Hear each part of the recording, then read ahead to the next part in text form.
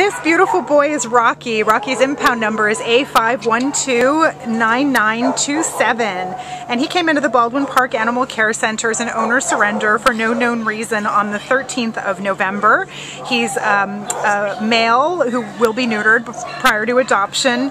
Um, we think he's about two years old and he's a lovely Siberian Husky mix. As you can see he's snow white and so adorable. His face reminds us of like a seal pup.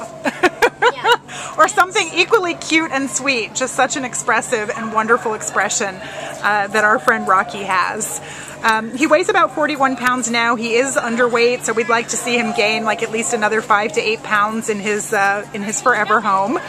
Um, he's been out with our handler and he's been really nice and cooperative on leash. He's curious about other dogs and had some nose-to-nose -nose greetings with some of our other dogs out and did very well with those. So he seems to be... over there? Yeah, he, he, he, can tell somebody's over there who might be fun to play with. So just seems to have a really playful and, and sweet spirit.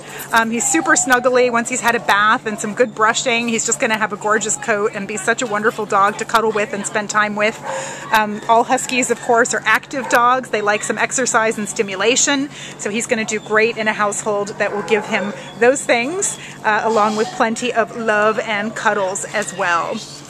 So please come down to the Baldwin Park Animal Care Center and ask to meet our gorgeous friend Rocky. His impound number again is A5129927. Let's see if we can get one more shot at that adorable face. Rocky, mm, good boy. What a sweetheart. He's just such a good boy.